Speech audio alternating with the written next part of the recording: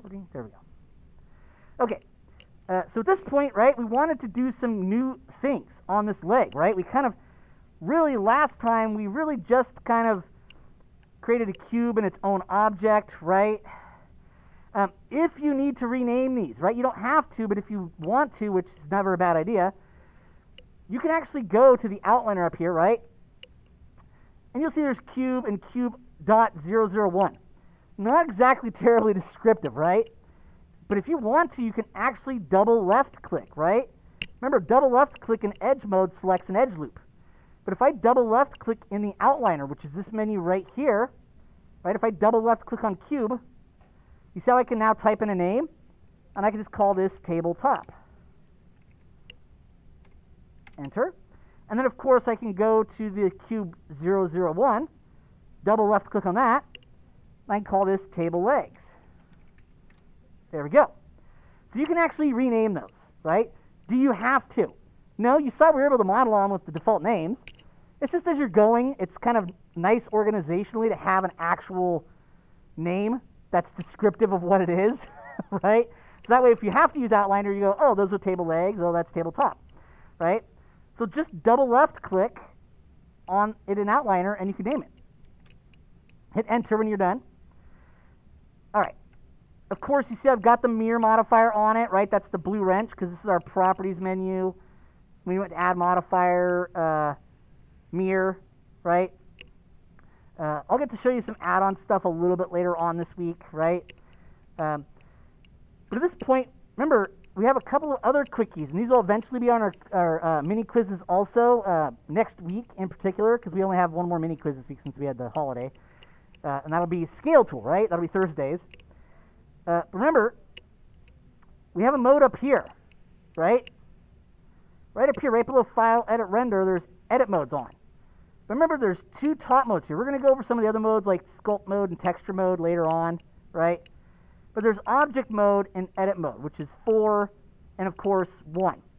If I go to 4 for Object mode, you'll notice I could left-click on these different objects. You see how it selects the different object from the outliner? And then, of course, we can go to edit mode. Uh, by default, 1 is edit mode, but it's edit mode vertex or point, right? 2 is edge, which is the line between points. And 3 is face, which is actually a polygon, right? A couple of other things to remember. Edit preferences, because I know a couple of you guys uh, uh, last week were like, oh, that helps a lot, right? You didn't have the uh, industry compatible on. So remember, if you forgot to at the very beginning of class, or the very beginning, first time you installed Blender, you might have forgotten to change shortcuts to industry compatible. The nice thing is you're not stuck, right? It's not like, oh man, you could just you could change it when you need it, right? So remember, you just kind of go uh, edit, preferences, and then click on key map. Go up here and switch from Blender to industry compatible, right? Because I prefer that, and I think there's a lot of good reasons in terms of it's uh, better for ergonomically. It's better muscle memory wise um, than a lot of the blend, uh, Blender shortcuts defaults. Um, it also is much more in line with the rest of software out there. Uh, so for us, we want key map, and we want to click on this pull down up here and make sure industry compatible is on, right? Also remember window, save screenshot. This is the preferred way to do progress check screenshots, right? If you have to take a picture with your phone, that's okay. I will accept that. But the ideal is window save screenshot. And you'll notice I have it up on the board there, right? So that's the preferred way. I figure it never hurts to get to see those in video form again, right? so really what I wanted to do today is just do more with the legs, right? Right now, kind of they're straight and that's fine, but what if we want them to be more dynamic, more curved, right? This is a fantasy table, so we can have them kind of be arched out. And this also really allows me to show you shaping stuff, right? Uh, you also remember I do have uh, my mirror modifier on, and I have both X and Y on, right? Because that gives us the symmetry for both this side and this side. So that if I select one face here, it selects it on all the other legs. One of the things we could do is, if we want to start to shape this better, we can actually rotate or add loops and stuff like that. So we're going to see really just adding some loops, moving and rotating, do some shaping. So remember, we have a loop cut tool, right? Also remember, we're in modeling workspace, right? Uh, we usually when you're modeling, you want to be in modeling workspace. It's one of these tabs up here, right? So modeling workspace. And remember, there's a tool right down here called Loop Cut. There is a quick key for it, Alt C, right? C for cat. Alt C. So I'm going to click on Loop Cut, but it is that one right there. And what I need to do is I need to add in more loops here to allow me to do more shaping. Now, remember, by default, if you just loop uh, cut, right, it'll actually put it right in the middle. But remember, this is also based off of which edge you're over, right? And it's based on going perpendicular. In fact, this is one of the reasons why loop cut really likes quads, and one of the reasons uh, that we really like using quad polygons, right, is because loop cut only goes to the opposite edge, predictably, right? And that means that these two edges right here are adjacent to this one. That means there's only one opposite edge right here. So this knows how to always predictably wrap and add a whole loop, right? Remember, an edge loop is really a loop of edges, right? A loop is like a rubber band or a hula hoop, right? It's just a complete circle. But it's a loop made of edges, and edges are the lines between points.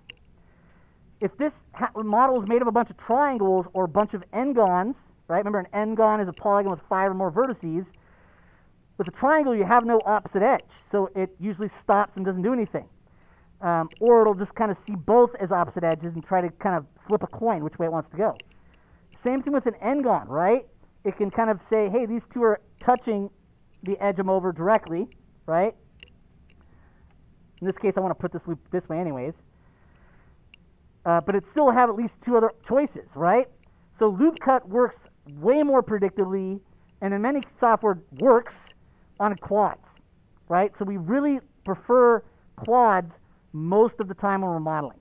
So remember, this loop cut tool always goes perpendicular to the edge you're over, right? And when you move to different edges, particularly when you're over that edge, you see how that yellow uh, kind of loop edge loop pops up. All right. So in this case, I'll just left click and it puts it right in the center.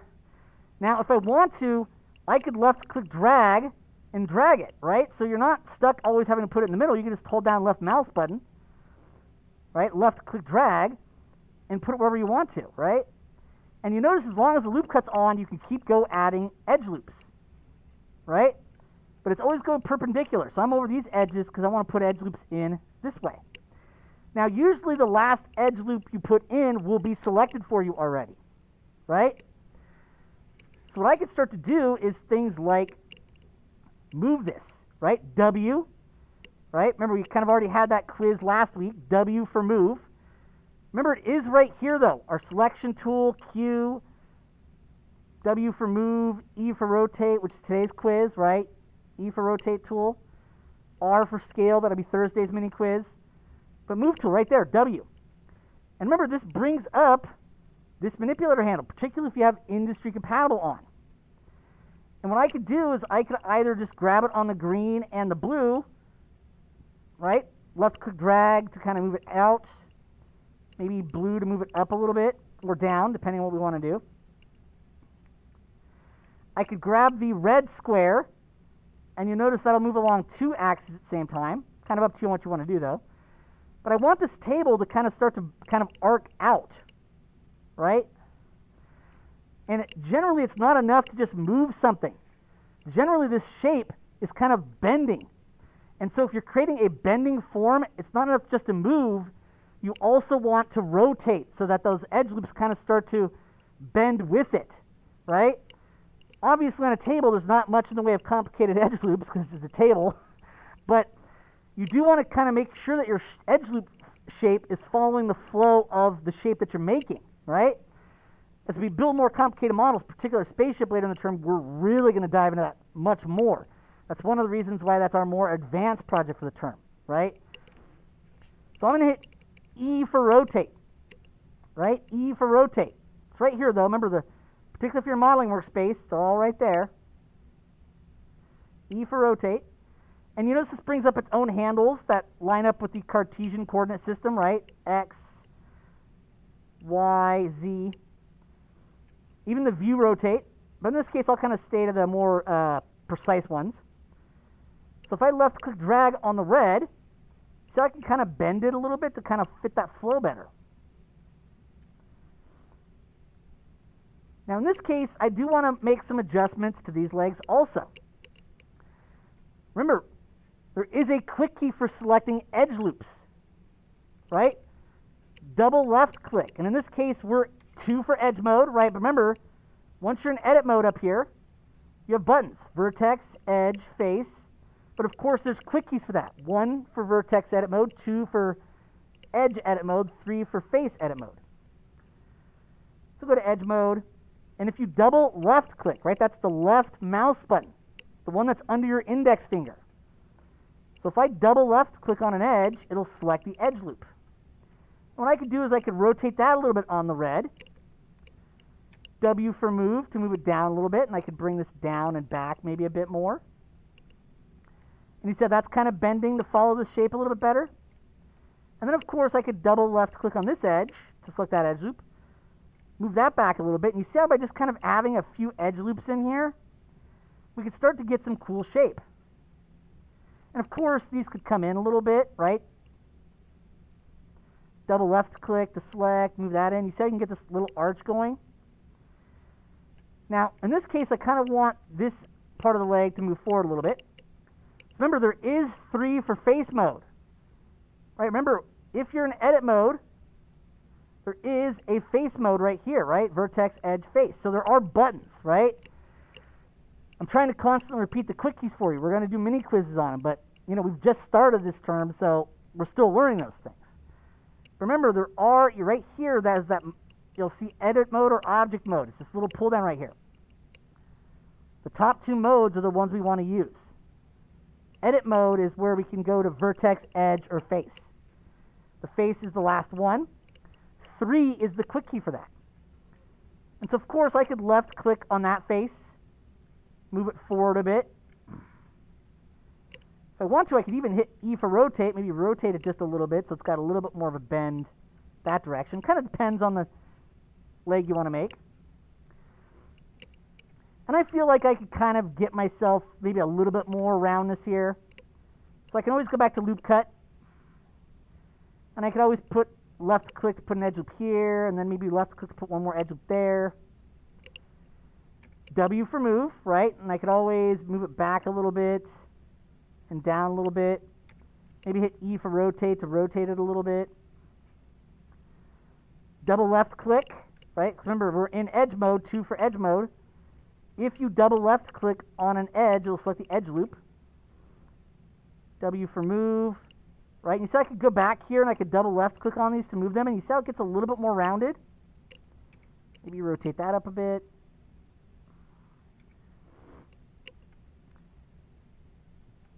we're just kind of adjusting this in multiple views, right? You see I'm kind of adjusting it from a couple of different views, double left click, just to kind of get more shape in there.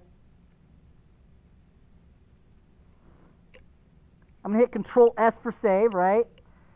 But now you see that this was just really an exercise in showing you how to put some loop cuts in. And by adding more edge loops, you see how we can get more of this rounded shape?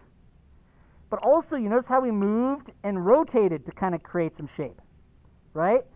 So you move, rotate, and eventually scale tools allow you to do a lot of shaping on this leg.